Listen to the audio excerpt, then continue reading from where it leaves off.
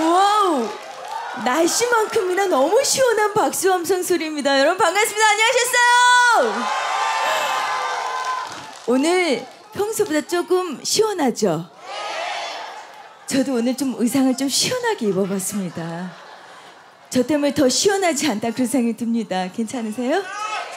네, 오늘 사실 삼척까지 오면서 새해다 보니까 제가 어, 여러분들께 새로운 마음으로 하얀 마음을 보여드리고 싶어서 새로 꽃가옷을 맞춰서 입고 온 거예요.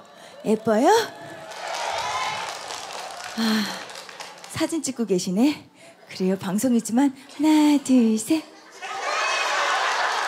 자, 이어질 노래는 음, 제 노래 중에서 오랜만에 김현이가요.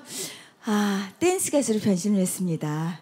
한번 춤을 춰볼 건데요. 시작해도 될까요? 김현의 신곡입니다. 아싸 내 사랑.